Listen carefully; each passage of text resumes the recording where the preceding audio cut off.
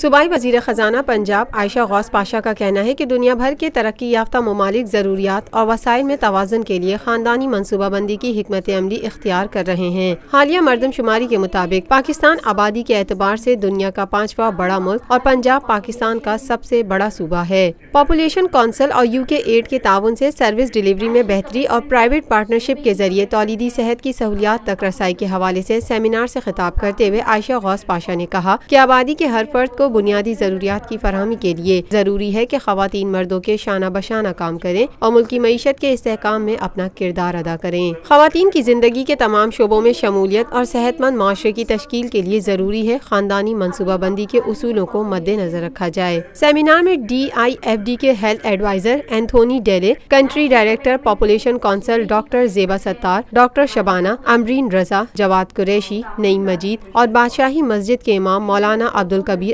آزاد موجود تھے Lotus Lake Towers, a groundbreaking endeavor by Lotus Properties.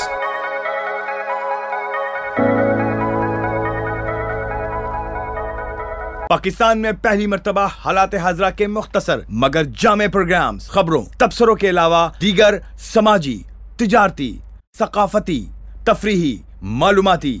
مذہبی تعلیمی صحت اور بچوں کے پروگرامز صرف T N N T V پر۔